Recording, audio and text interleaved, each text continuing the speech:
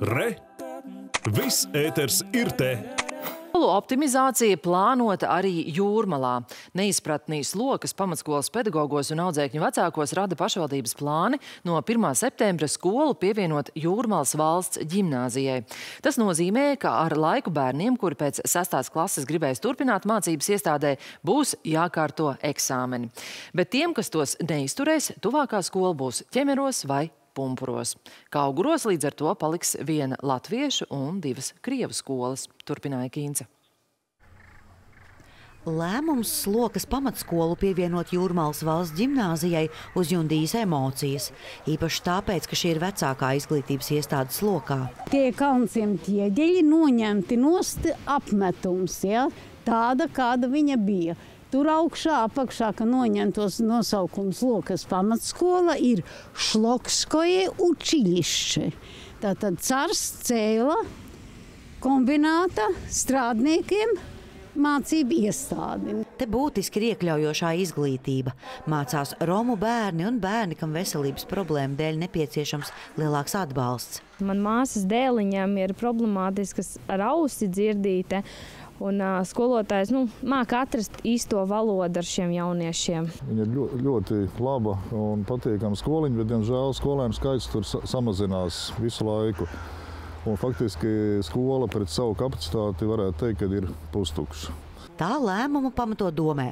Pamatskolā mācās 250 bērnu, bet vietas pietiek 400. Tikmēr Jūrmālas valsts ģimnāzijas sākuma klasītes mācās bērnu dārzēkā. Tā nav īsti piemērota un ar laiku tur jāatgriežas bērnu dārzniekiem. Ejam uz tādu lēmumu, ka mēs apvienojam šīs abas skolas, līdz ar to mēs varam racionāli izmantot slokas pamatskolas ēku kur mācītos uh, sākuma skolas klases, uh, teiksim, varbūt līdz 5. klasē, jaun, jaunajā renovētajā gimnāzijas ēkā. Savukārt būtu vecāko klašu skolēniem piemērotas telpas, un tātad divās uh, renovētās iestādēs visiem skolēniem tik nodrošināts nu, ļoti kvalitatīva mācību vide. Vislielākās bažas vecākiem ir par to, kas notiks pēc sestās klases. Lai iekļūtu gimnāzijā, eksāmenos jāuzrāda labi sasniegumi. Ne visi to spēs. Daudzi pēc pamatskolas apgūst ārodu. Ne jau visi bērni grib kļūt teiksim, nākotnē kaut kur augstāk ļoti iet, bet uh, tieši no šīs skolas lielākoties iet uz proftehniskajām skolām, kas ir buldros.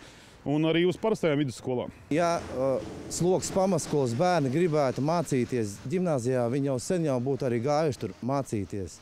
Mums zūd teiksim, izvēles iespēja. Nu, ne visi bērni būs spējīgi teiksim, pēc 7. klases teiksim, iekļūt uh, attiecīgi pēc eksāmeniem gimnāzijā. Un viņiem tur nāksies braukt kaut kur teiksim, uz tāliem galiem jūrmālas. Tas ir kā minimums 30-40 minūtes ceļā. Tuvākās skolas ir 10 km attālumā. Tas nav normāli. Ķemeri vai pumpuri, jā. Un pumpuros tagad ir 850 bērni. Tātad sanāk mums vēl tālāk braukt. Tā ir liela, bet droši vien vai majora. To, ka eksāmeni būs jākārto, apstiprina arī pašvaldībā. Tuvākos divus gadus gan vēl nē. Protams, ka visi slogas pamatskolas šobrīd audzēkņi, kuri ir vecākajās klasēs, protams, ka visiem viņiem tiks nodrošināta iespēja pabeigt arī pilnu pamatskolas kursu. Jā, protams, vēlākos gados, jā, tie, droši vien, ka būs šī atlase uz 7. klasi, jo tomēr valsts ģimnāzija ir savas prasības. Vecāki un skolotāji Jūrmals domai pieprasa skaidrojumu. Nav nekāda demokrātiska procesa, kas, kas mūs informētu vai pajautātu, kā mēs redzam savas slokas pamatskolas attīstību. Nu, mēs gan vāksim parakstus, gan arī mēs prasīsim arī racionāls izskaidrojums, kāpēc tas ir tā, un teiksim, kāpēc nav šī apvienošana teiksim, nu, ekonomiski pamatotāk ar ķemeriem. Ķemeros ir liela skola, viņai ir 100 bērni. Šeit ir vairāk kā 200. Tātad, ja teiksim, ķemeris pievienot teiksim, šeit klāt, tad attiecīgi būtu jau normāli noslodzi un teiksim, ekonomiskas pamatojums viennozīmīgi būtu pareizs.